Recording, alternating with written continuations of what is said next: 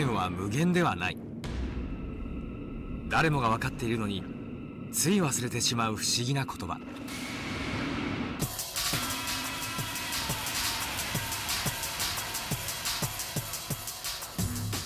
便利で豊かな暮らしを支える化学工業。しかしこれまでの化学工業は製品を作る過程で利用価値のない副生物が生まれてしまうという現実がありました。には原料の半分以上が無駄になることもあるのです。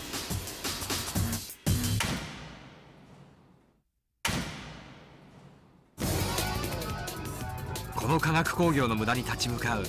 一人の科学者がいます。これまでの科学は必要なものだけを作る科学でした。でこれからは必要なものだけを作るのは当然ですがそのために必要なものだけを使って作る。これが私の夢です。東京大学教授野崎京子さん。環境問題が叫ばれる今野崎さんが取り組んでいるのが化学反応の鍵を握ると言われる分子触媒。それは一言で言うと分子をデザインするということです。分子をデザインするそれは限りある資源を真摯に見つめた科学者の挑戦です。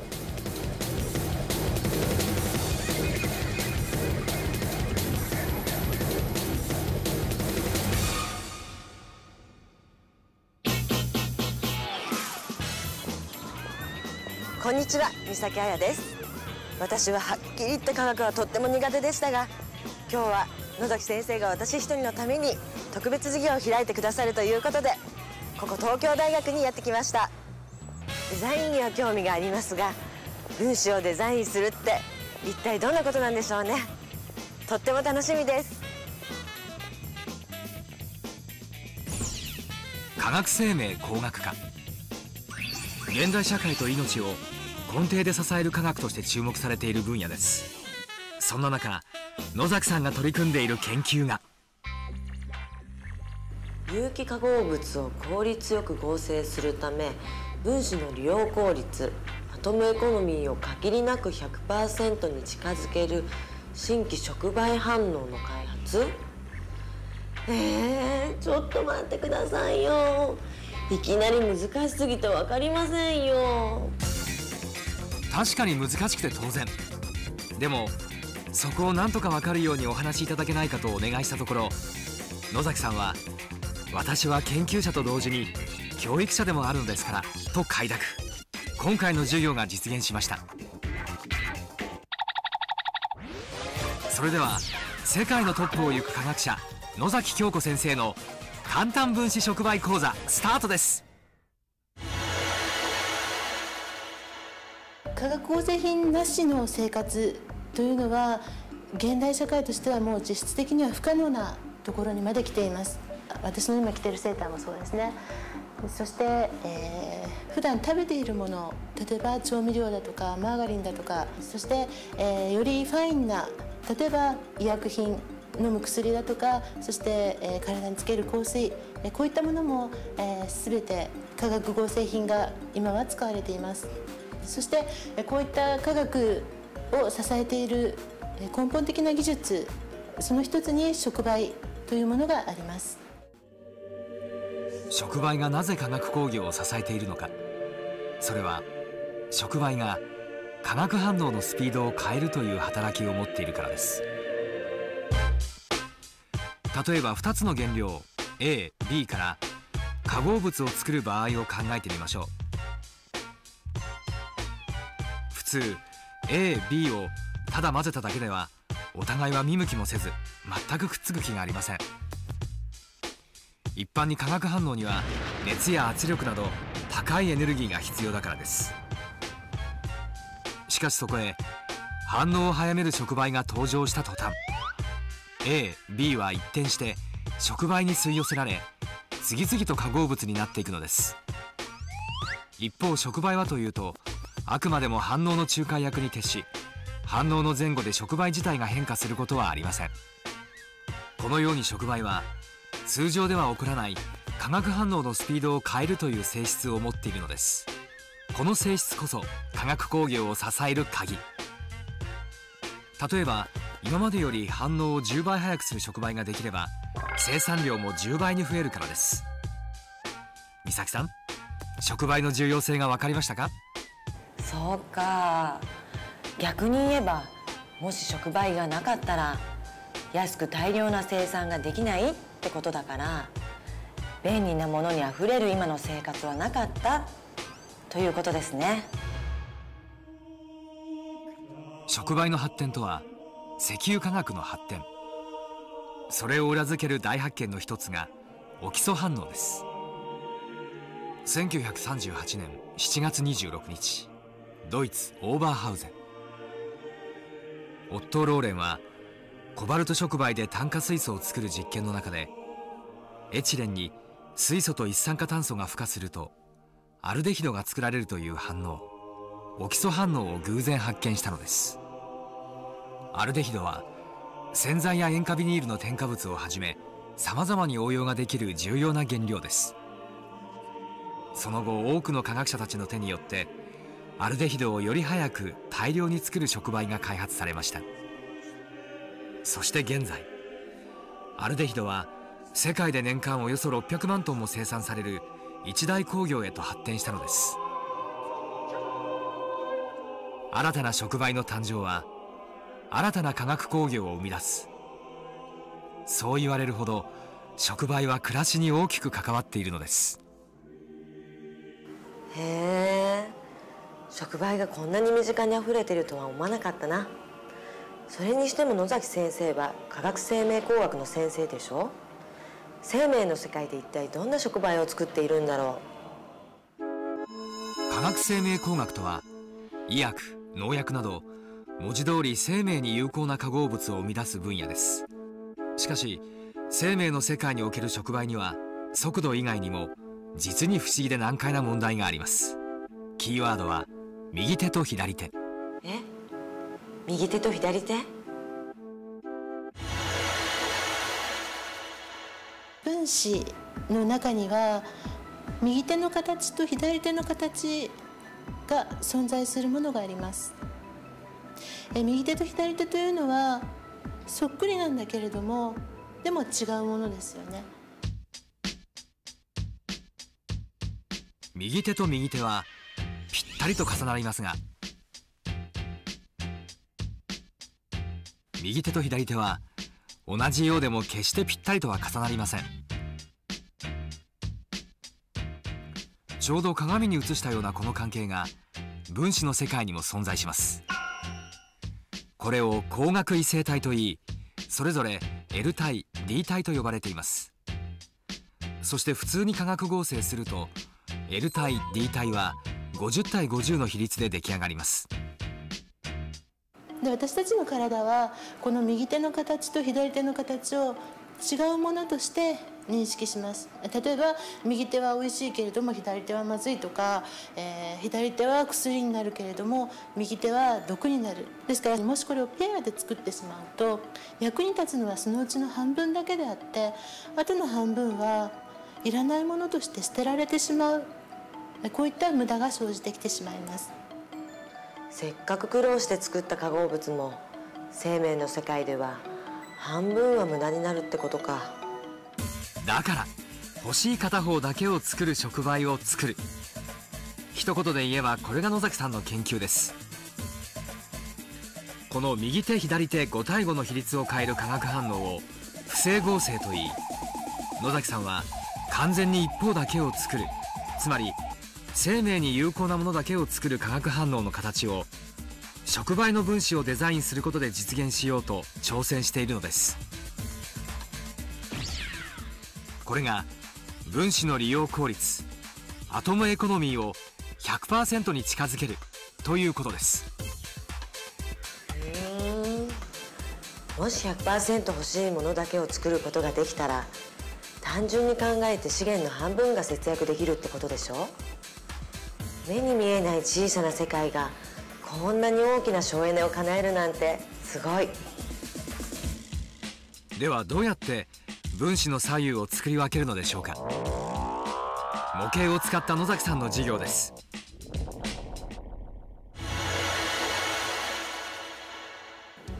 ここに軍手のような分子があったとします。この軍手右手用ですか左手用ですか？どっちでもいいですよね。どっち向きにしてもいいからでもここにワンポイント手の甲にワンポイントつけたい。そうすると明らかにこっちは右手用だしこっちは左手用。この2つはさっきまでこのワンポイントつけるまではどっちの手ではめてもよかったけれども今は右手と左手に分かれてしまいましたね。同じようにこれはどっち向けて使ってもいいのでこれは右手左手関係ないんですがここにこれをこっち向きに刺すかこっち向きに刺すかで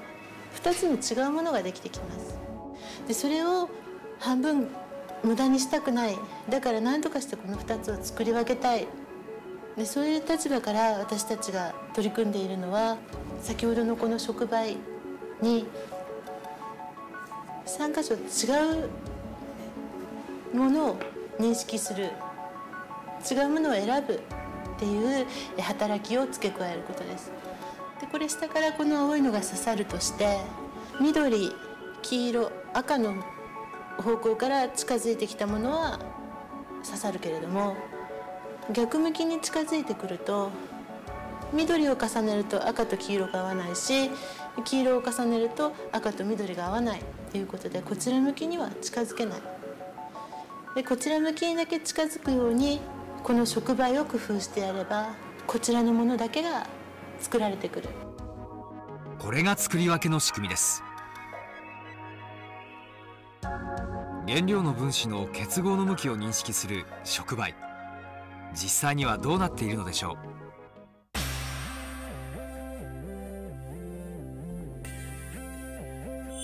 実際の触媒は原料の向きをコントロールする分子を金属の原子に結合させたものです。原料に触媒が入ると金属に結合していた原子が離れ反応のスペースを作ります。そのスペースへ原料の向きをコントロールする分子が原料を狙い通りの向きに引き寄せ結合させます。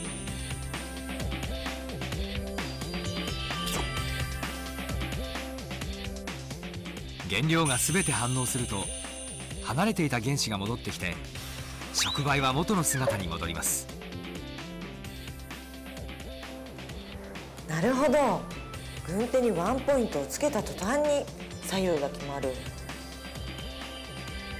そして分子のワンポイントになるのがこの青いピン。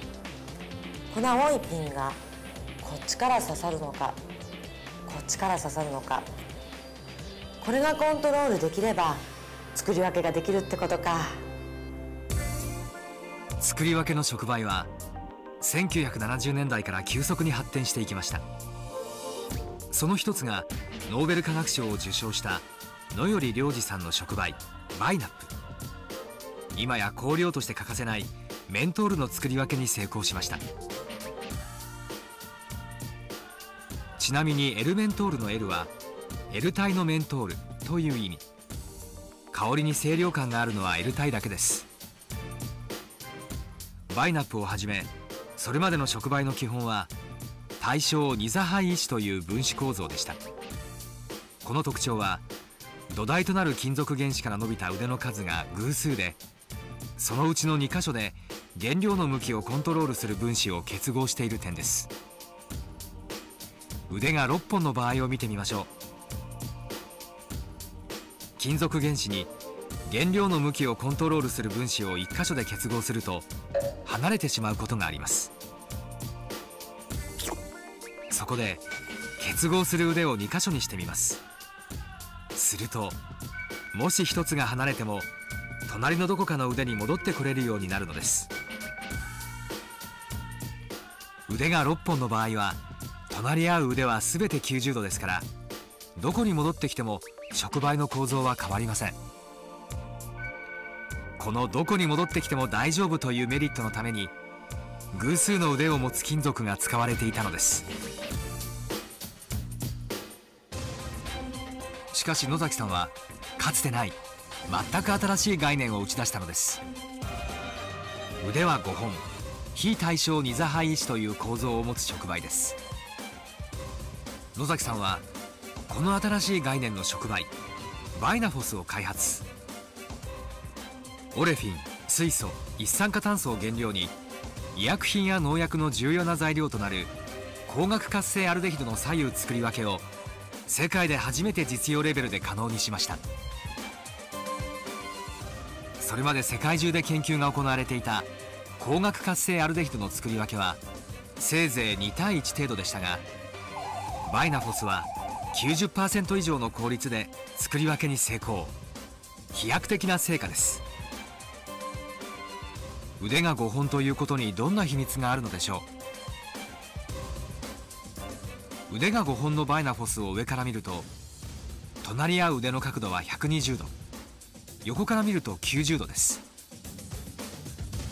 もしこの2箇所で原料の向きをコントロールする分子を結合する場合2つの腕は120度ですが1つが離れてこちらに移動すると90度。つまり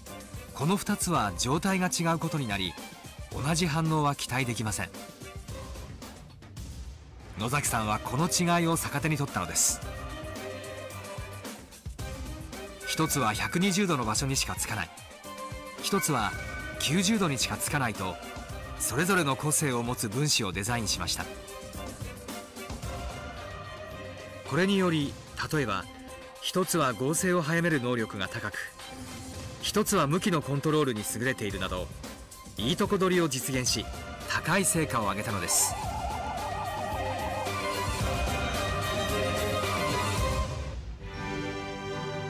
野崎さんはご両親もご主人も科学者。そんな科学一家で暮らす野崎さんの素顔とは？いつ頃から科学が好きになったんでしょうか？模擬編の科学は多分子供の頃から好きだったんですが、化学に関してはもう高校まで嫌いでしたね、えそんな嫌いだったものがね、うん、突然好きになるんですか？なりますよ。あもうそれ本当になりますよ、うん、あのねえっと私だから大学の3年生までは、はい、化学っていうのはなんか例外がすごく多くて、はい、この場合にはこうだし、この場合にはこうだしっていうのであのすっきり割り切れないんですよ。うん、でなんかいちいち例外全部覚えなきゃいけないのかと思って、はい、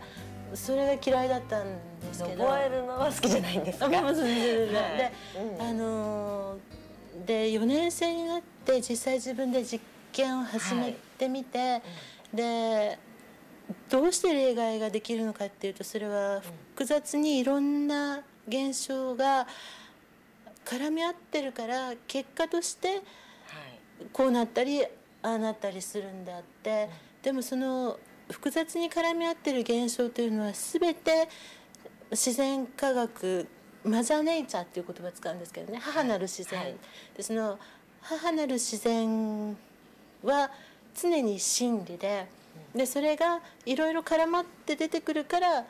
答えとしてはすっきりしてないように見えるんだけれども実際実験をやってそれを確かめるとその本当の真理が答えとして返ってくるんだっていうのに気が付いた時に、はい、あこんな面白いことがあったのかと。あもう受験勉強ここまでその、まあ、がん頑張ってやってあこんな面白い研究できるんだったらやってよかったなってすごい思いましたねその時だから。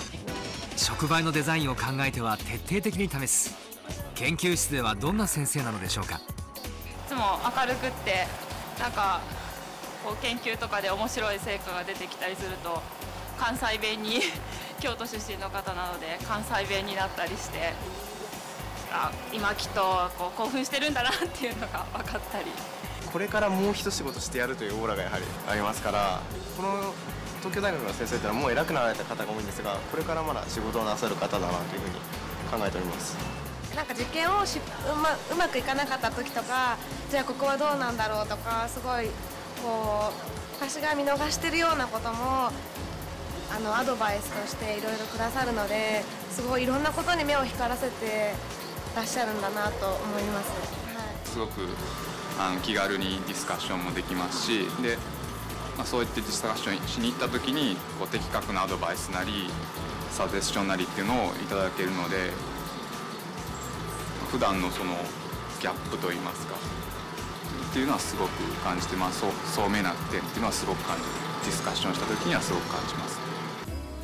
野崎さんの次なるステップが二酸化炭素の有効活用です。地球温暖化の原因とも言われる二酸化炭素を人間の役に立てるという発想は実に意義のあるテーマとして世界的に注目されています。そんな二酸化炭素を原料に野崎さんは非対称二座肺医師の触媒でプラスチック樹脂の左右を完全に作り分けることに成功しました。どのようにプラスチック樹脂ができるのか実験で見てみましょう。同じ原料を混ぜた2つのうち片方だけに触媒を入れてみます。触媒を溶剤のトルエンに溶かしこれを空気に触れないように金属の容器に入れます。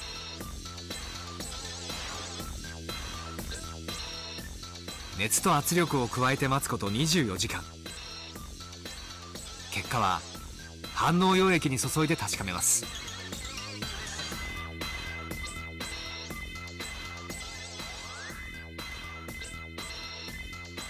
ネバッとした繊維状の物質が出来上がりました。プラスチックです。この完全な作り分けにより生ゴミのように土に帰るプラスチックなどが実現しまた左右の比率を操ることで硬さなど目的に応じた性質のコントロールができるようになります。さらにこの成功は薬品など分子量100程度の低分子を作る触媒がプラスチックなど分子量数万という高分子にも適用できたという大きな意味を持ちます。この功績により2年にたった1人が選ばれるオムコスを受賞。野崎さんの触媒は有機化学分野を飛躍させるとして科学界に強いインパクトを与えたのです。私の中で科学者のイメージっていうと、もう毎日朝早くから遅くまで、ずーっと研究してるイメージがあるんですけども、はい。先生はどうなんでしょうか？えっと子供がいるので夜遅くまでっていうのはできない。お子さんがいらっしゃるんですか、ああじゃあお子さんのじゃあ家庭とお仕事の両立、両方してらっしゃるね、まあ子供を、はい。ちゃんと育ててるかどうかはまあ生きてるだけでもいいかなみたいな感じで。そうですね。じゃあもう時間をちゃんときっちり決めて。そうですね。保育園に迎えに行く時間が夜のはい7時15分って決まってるんで、ちゃんとじゃあ送り迎えもうん夜の朝送り7時になるともう廊下をドスドス走って、うん。あの階段駆け下りて迎えに行ってます。よああすごいですね。じゃあ両立されてるということで科学のこととかを考える時間っていっぱいあると思うんですけども例えば何ですか、どんなところで考えることが多いですか、考えようと思って考えられるものではなくて、うん。どこで考えてるかって聞かれたら布団の中かな、布団の中。布団の中。あのね、あのもう本当にはい。どうしようって言って考えてると、あの夢夢の中かな。とにかく、はい。あの寝てる間考え続けてるんですよ。朝までじゃあ覚えてるんですか？一応枕元に鉛筆と紙あるんですけど。いつも置いてあるんですか、うん、でも私あの片付けるの下手なんで気が付くとベッドの下に落ちてたりして。でそうするとその拾ってまで書かないでそのまま消えてったアイディアもいっぱいあるし。問題ないですね。それはいろいろねそう寝てる間も考えていらっしゃるということなんですけども、ストレスとかたまることはないんですか？研究が原因のストレスっていうのは、はい。それもたまればたまるほど、はい。いいアイディア出てくるから、うん。それは私どんどん貯めた方が、脳の一番奥まで使うようになるんで、うん。いいと思いますね。だから、ん。その対人関係なんかのストレスははい。体に悪いと思うけれども、研究で困って困ってっていうのはもうとことん困った方がブレイクスルーが出てくると思う。あじゃあストレス、うん、じゃ研究のこととかでストレスを感じることはあまりないですか？そうですね。はい。作り分けだけでは資源を見つめる野崎さんの研究は完結しません。もう一つの無駄が原料です。これまでの化学工業はいくつもの原料から欲しい分子だけを集めていましたがこれだと同時に利用価値のない副生物もできてしまいその処理に莫大なコストがかかっていたのです。今までお話ししてきた不整合成というのはこの AB のパートについて鏡に映した2つのものができる場合の、えー、こちらだけを作ってくる。でこちらを作らないようにして無駄を省こうということでしたがここに生じているこの DC というパートについては全く何の手も施していないわけです。すなわち出発原料として ACDB といったこの C と D の部分を含んだ原料を使うのではなくこれからの化学反応は A と B を足して AB だけができるこういった方向を目指すべきだというふうに考えているわけです。全てにおいて無駄のない反応の開発。これこそ野崎さんの最終目的。必要なものだけで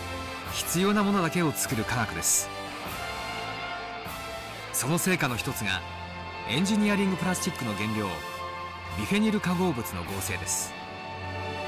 それまで避けることのできなかった有害な副生物ハロゲンを全く出さない合成を生み出しました。さらにビフェニル化合物を作るには何段階もの合成が必要でしたがそれをたったワンステップで成功。生産に関わるエネルギーを一気に小さくしたのです。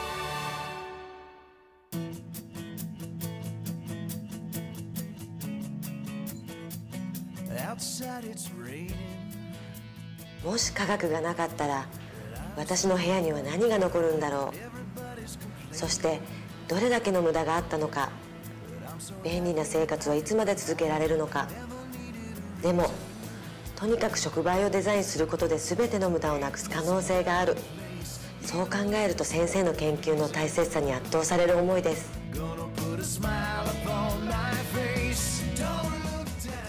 私その一人の生活している一般市民として、え自分の分野以外の研究ですねにも広く興味を持って聞いていきたい。ですから分かることしか聞かないのではなくちょっと分からないかもしれないところを初めは分からなくても聞いてみれば分かるかもしれない。と思うので私たちが発信していくサイエンスをぜひ初めはちょっとだけ我慢して聞いていただけたら世界が広がるだろうなというふうに思います。10億分の1メートルの世界で活躍する分子触媒のデザイナー。野崎さんたちの活躍がある限り地球は青く輝き続けることでしょう。これまでの科学の宿命であった一つの幸せのために何かを犠牲にするという考えは野崎さんにはみじんもありません。